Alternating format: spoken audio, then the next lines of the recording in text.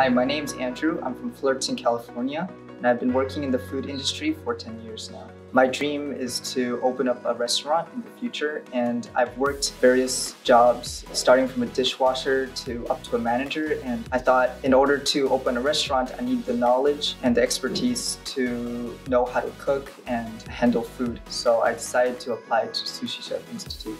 I think the hardest part about coming here was having a lack of experience in cooking and knife skills. But with Andy Sensei's vast knowledge, I was able to overcome even the hardest parts about like filleting the fish or using julienne to cut the, uh, the vegetables with constant practice. And that was something I enjoyed overcoming during the school. I did try to learn sushi from another chef, but I noticed the huge difference between Andy Sensei and the, uh, that chef. There are people out there that may know a lot about sushi, but are really bad at teaching it.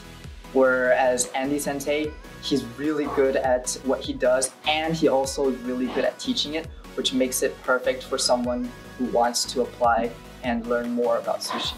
My most memorable experience would be being able to closely connect with the classmates here. Um, at first, it was a little bit awkward because you know we're all meeting each other for the first time and trying to figure out who was going to be the top of the class. But I'm just like a goofy person, and using you know my goofiness uh, throughout the whole class time and making everyone smile was probably my most memorable experience one to two years, I would definitely see myself just finishing my job uh, at a sushi restaurant to apply to a probably a better restaurant to show them, you know, my skill and try to put myself out there so I can learn from uh, better chefs around the world.